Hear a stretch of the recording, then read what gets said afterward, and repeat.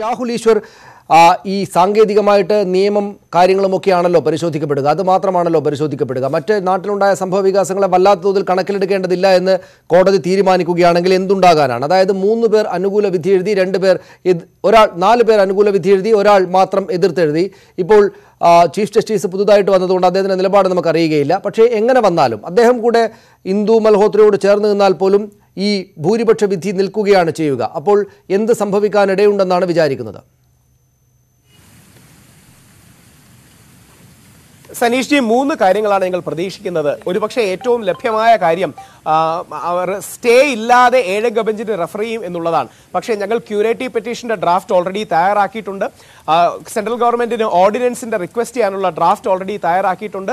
നമ്മൾ അഥവാ വിജയിച്ചില്ലെങ്കിൽ അനുകൂലമായ വിധി വന്നില്ലെങ്കിൽ ജല്ലിക്കെട്ട് മോഡൽ പ്രക്ഷോഭത്തിലൂടെ ഓർഡിനൻസിന് വേണ്ടിയുള്ള ശ്രമമാണ്. നവംബർ പതിനഞ്ച് മുതൽ തന്നെ എല്ലാ അയ്യപ്പ സംഘങ്ങളോടും ശബരിമലയിൽ എത്താൻ അഭ്യർത്ഥിച്ചിട്ടുണ്ട്. നാമജപ ഘോഷയാത്രയിലൂടെ പ്രാർത്ഥനായജ്ഞങ്ങളിലൂടെ മുമ്പോട്ട് കൊണ്ടുപോകും. കഴിഞ്ഞ തവണ ആദ്യ ഒന്ന് രണ്ട് ദിവസങ്ങളിൽ ഞങ്ങളുടെ ഭാഗത്തു നിന്ന് പരാജയങ്ങളും വീഴ്ചകളും വയലൻസും ഉണ്ടായി. അത്തരം കാര്യങ്ങളൊന്നും ഇനി ഉണ്ടാകില്ല.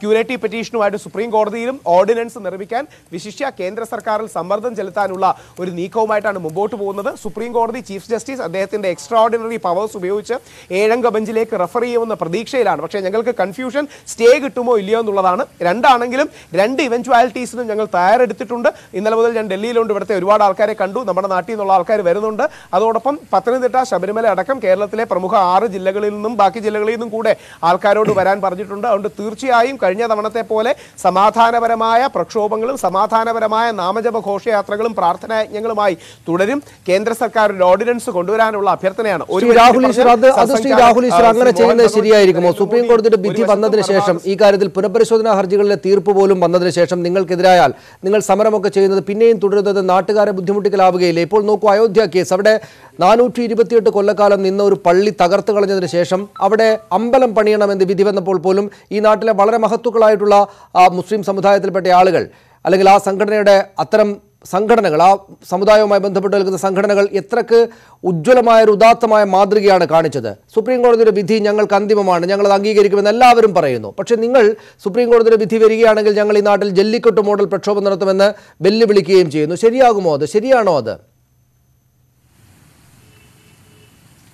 അങ്ങനെയല്ല രണ്ട് കാര്യങ്ങളാണ്. ആദ്യത്തെ അങ്ങ് പോയിന്റ് പറഞ്ഞത് നൂറ് ശതമാനം ശരിയാണ്. നമ്മുടെ മുസ്ലിം സംഘടനകൾ പക്വതയോടെ പാകതയോടെ വിശിഷ്യ വർഗീയമായി നമ്മളെ വിഭജിച്ച ഒരു വിഷയത്തിൽ സമവായത്തിന്റെ പാതയിലേക്ക് വന്നതിൽ അവരിൽ എല്ലാവർക്കും നമസ്കാരം പറയുന്നു. രണ്ട് ശബരിമല വിഷയം അതിന് തത്തുല്യമല്ല. കാര്യം ഇതിൽ വർഗീയതയില്ല. ഇതിൽ ഹിന്ദുക്കളും മുസ്ലിങ്ങളും ക്രിസ്ത്യാനികളും എല്ലാം ഒരേ നിലപാടാണ്. പ്രമുഖ മുസ്ലിം സംഘടനകളെല്ലാം ഔദ്യോഗികമായി തന്നെ ഞങ്ങൾക്ക് പിന്തുണ അറിയിച്ചിട്ടുണ്ട്. ശ്രീ പി സി ജോർജും പി സി സോണും പി സി ഷോണും അടക്കം ക്രിസ്ത്യൻ സമുദായത്തിലെ ഒരുപാട് പേർ ഇതിനുവേണ്ടി അനുകൂലമായി വന്നിട്ടുണ്ട്. യു ഡി എഫിന്റെ യോഗത്തിൽ നിയമം വേണമെന്ന് പറഞ്ഞത് ക്രിസ്ത്യൻ സമുദായത്തിൽ ജനിച്ച നിരീശ്വരവാദിയായ സി പി ജോണാണ്. ആർ എസ് എസ് ശക്തമായി അനുകൂലിക്കുന്നുണ്ടെങ്കിൽ ആർ എസ് പിയിലെ ഇടതുപക്ഷക്കാരനായ പ്രേമേന്ദ്രൻ ജിയാണ് ഇതിനുവേണ്ടിയുള്ള നിയമം സുപ്രീം കോടതി ക്ഷമിക്കണം പാർലമെന്റിൽ അവതരിപ്പിക്കാൻ ശ്രമിച്ചത്. ശ്രീ ശശി തരൂർ അടക്കം ഇരുവശത്തു നിന്നുമുള്ള ഒരുപാട് പേർ സപ്പോർട്ട് ചെയ്യുന്നുണ്ട്. അതുകൊണ്ട് ഇതൊരു ബൈപാർട്ടിസൺ ഇഷ്യൂ ആണ്.